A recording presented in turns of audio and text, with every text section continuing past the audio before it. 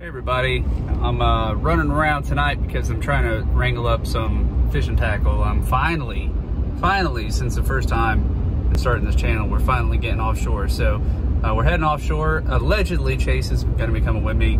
Uh, we're going to be going out on a friend's boat, and the plan right now is to do a little snapper fishing and also do some some deep dropping. So hopefully it works out. Weather is really windy today, but it's supposed to be nicer tomorrow. So um, buddy Nick, he's got a 25 Blue Water, which is a pretty nice darn boat. And uh, hopefully, hopefully we uh, we get to show you filleting some fish tomorrow, finally. So uh, buckle up, should be a lot of fun.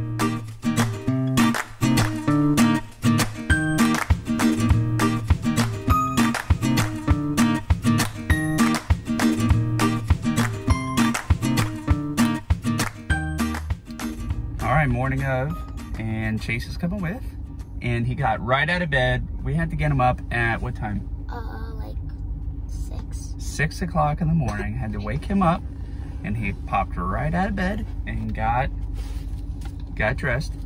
And we forgot his sunglasses, so we had to buy some at the gas station.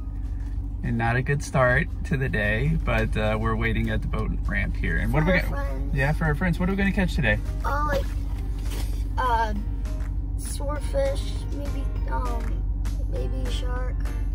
That sounds like a pretty good day to me. I hope so. I hope so. All right. Well, let's get uh, let's get rolling here. We're gonna unpack and um, we'll we'll get started.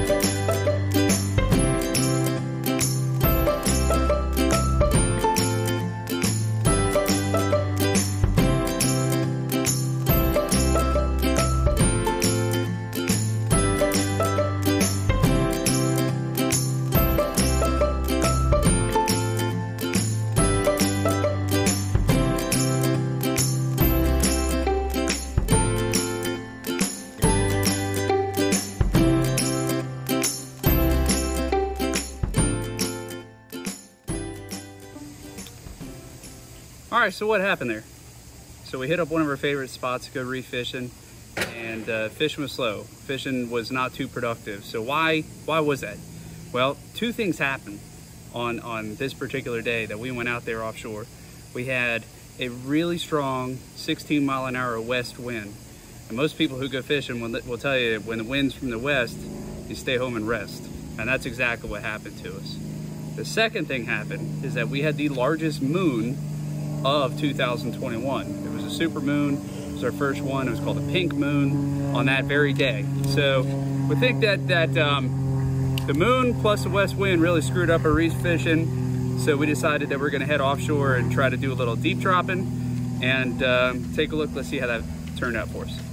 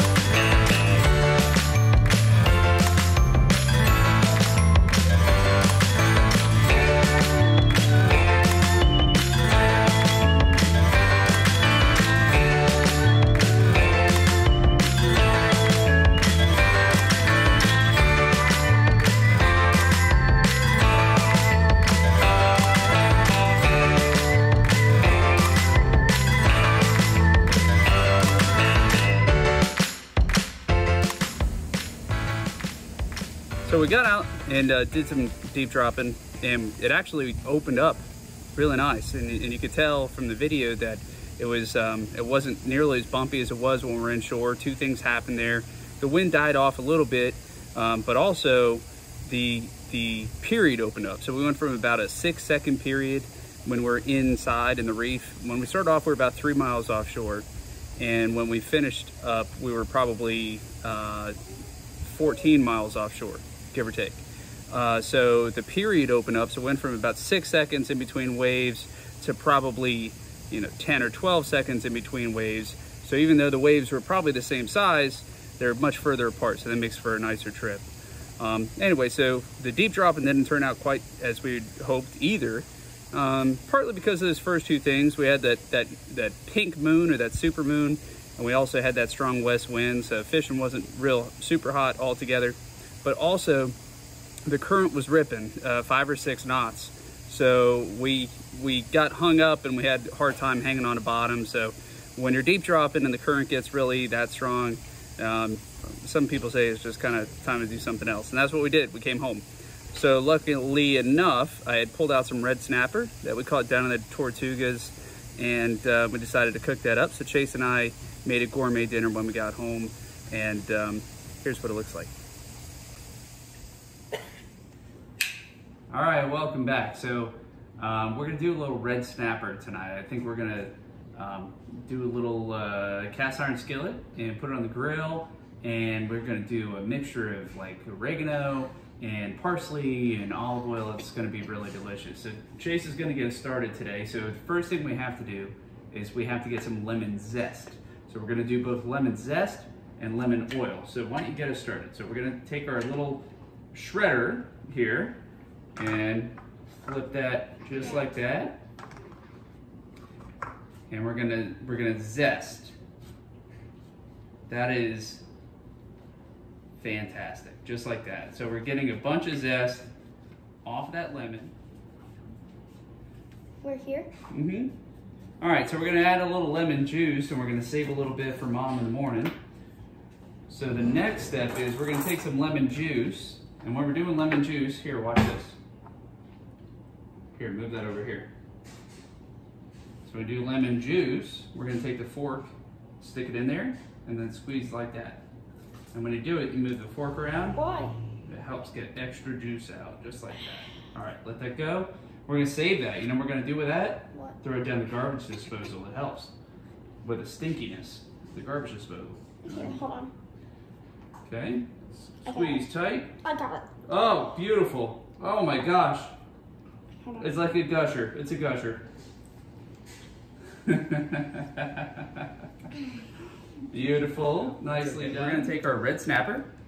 Put All it in the right, bag. big fillets. We're gonna go right in the bag. Okay, all clean.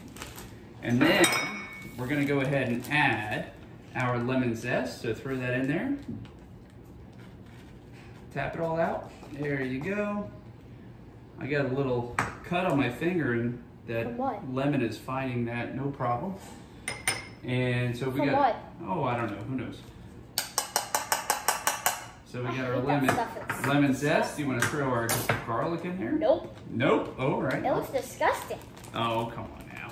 Garlic's good for it. Olive oil, you want to do that? Sure, yeah. All right, dump the olive oil in there.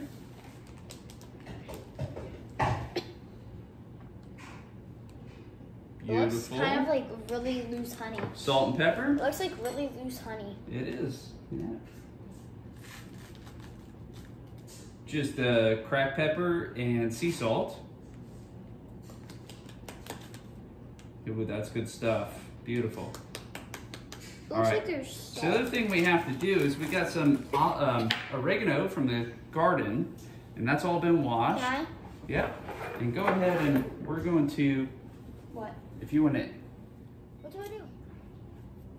all right, so we're going to throw that oregano in with the marinade, we're going to let that sit for about an hour, and we're going to come back and, uh, An hour? yeah, I know, it's, and throw that oregano in there, and we're going to dump it in. There you go.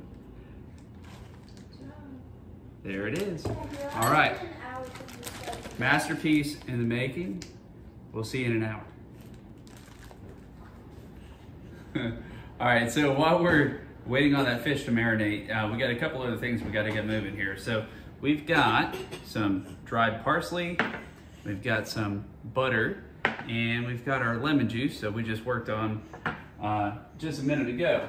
And then what we're gonna do is we're gonna cook the fish on open flame on both sides, and then we're gonna move it into this. This is just a tray of aluminum foil, and we've got a little basin here that I've just kind of made, and we're gonna move the fish off of direct flame, and then we're gonna we're going to brush on the mixture of the lemon juice and the um, butter and the parsley all together, and then whatever's left of the garlic and the oil mixture that we marinated in, we're gonna brush that on there too. So we're gonna move it on to an indirect heat.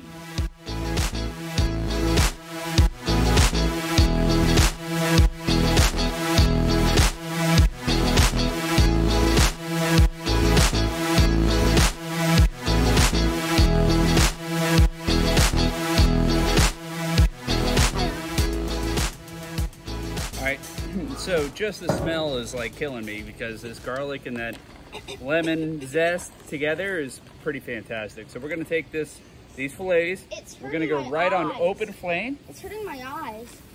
That is burning. right on open flame.